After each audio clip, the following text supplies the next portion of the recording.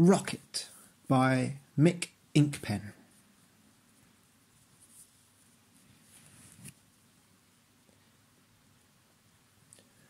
Tiger was sitting in the middle of the floor surrounded by odd shapes. It's my rocket, he said proudly to Kipper. I've been waiting for it to come for weeks. The rocket was very complicated. At first, Tiger put all the bits together the wrong way round. It took them all morning to get it right. Let's take it to the top of the big hill, said Kipper.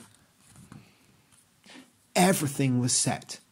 Tiger was ready to begin the countdown. Wait, said Kipper. There's something missing. He ran to fetch Sock Thing and put it on the rocket. Every rocket needs an astronaut, he said.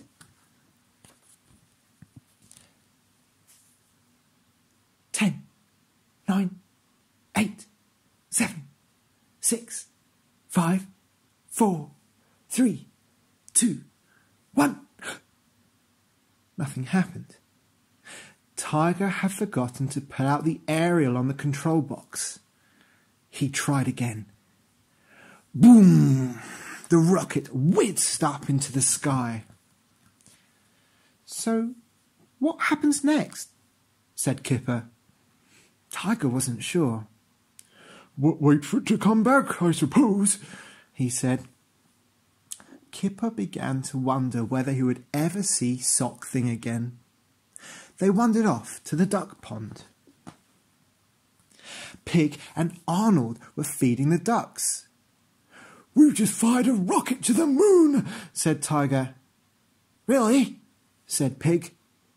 They were so busy telling Pig about the rocket that they didn't notice Arnold pointing up at the sky. Will the rocket come back? said Pig. I hope so, said Tiger, but I'm not really sure. Behind Pig, Sock Thing floated gently down into Arnold's hands.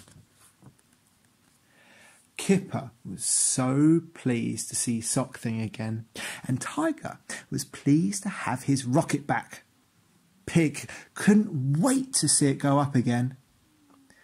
Can I press the button? he said as they hurried off to the big hill. Can I, Tiger? Can I?